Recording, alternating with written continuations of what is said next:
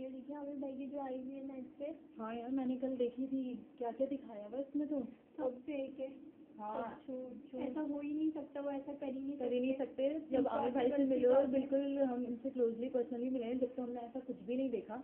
और ये सब उनके खिलाफ सिर्फ़ सिर्फ़ प्रोपेगेंडा हो रहा है। वो इतने फ़ेमस हो हैं कुछ किया जा रहा है। असल में लोगों से बर्दाश्त नहीं हो रहा कि कोई बंदा इस्लाम के लिए काम कर रहा है मुसलमानों के लिए काम कर रहा है। वन एंड ओनली पर्सन है जो इस वक्त सब अगेंस्ट इस्लाम के जो कुछ भी देखो हो रहा ऐसे ही है उसके साथ खड़े एक अकेला जब शुरू होता है कि वो एक तरीके से जिहाद कर अब इस तरीके से ज़ाहिर सी बात है जब हमारी जो दूसरी ताकतें हैं जो इनकी जो क्या कहते हैं पॉपुलरिटी खत्म करना चाहती कम करना चाहती तो उन लोग को चाहते हैं कि वो ज़ाहिर सी बात इस्लाम का नाम बुलंद ना हो लोगों के इस्लाम ज़िंदगी में ना आए।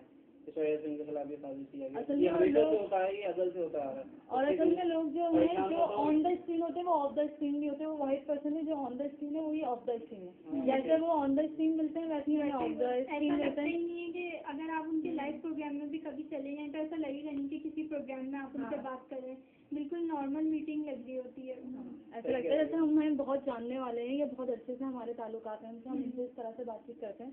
तो लोग ये सिर्फ़ और सिर्फ़ प्रोपेगेंडा कर रहे हैं उनके खिलाफ साजिश कर रहे हैं मतलब ताकि इस बंदे को हैं तो हमें उनके खिलाफ हम लोग है है पकड़ेंगे और इन्हें छोड़ेंगे नहीं ऐसा होना ही चाहिए। ऐसा किसी को बल्कि यकीन ही नहीं करना चाहिए। बिल्कुल गलत है ये जो कोई भी कह रहा है। और आजकल जो हमारे मुल्क के हालात हुए हैं जो इतनी गड़बड़ चल रही है उसमें अगर कोई एक बंदा काम कर रहा है तो लोग उसके पीछे क्यों पड़े? सब देख सकते हैं कि वो कितने काम कर रहे हैं कितने सवाब और कितने नेक काम कर रहे हैं। ये सब कुछ उनको डाउन करने के सब कुछ प्रोपेगेंडा है। इसके अलावा कुछ भी नहीं है। ये सारी फेक वीडियोस बनाई हैं। जितने भी उनके जो क्लोजअप लिए हुए हैं वो इतनी दूर से लिए हुए लिप्सिंग उनकी नज़र नहीं आ रही है उसके ऊपर उन्होंने डबिंग करी हुई है। और लोग इतने बेवकूफ़ नहीं है कि इन वीडियोस को देख के जो है। लोग बेवकूफ़ बन जाएँगे या आमिर भाई को खराब समझने लगेंगे। और जिनके दिमागों में ये देख कर ये कोई बात आएगी तो प्लीज़ अपने दिमागों से बात निकाल लेंगे ऐसा हो ही। नहीं सकता है। देखो हमारे भाई बहुत अच्छे आदमी है। अगर कोई इनके खिलाफ ऐसा कुछ कर रहा है तो अब हमें छोड़ना नहीं है। हमें और हमें पता है कि ये कौन लोग कर रहे हैं। पता है हमें अब हमें उनके खिलाफ सख्त से सख्त एक्शन लेना है और उसके लिए हमें खुद खुद क्या कहते हैं, करना पड़ेगा। जिस वक्त वो आए थे उस वक्त मैं उनसे मिली थी। जब वो टीवी पे नहीं आए थे कभी मीडिया पे वो इतने हाईलाइट नहीं थे। बिल्कुल इनिशियल की बात है जब वो सिर्फ़ आए थे। मैं पर्सनली एक जगह गई थी एक प्रोग्राम में उनसे मिली।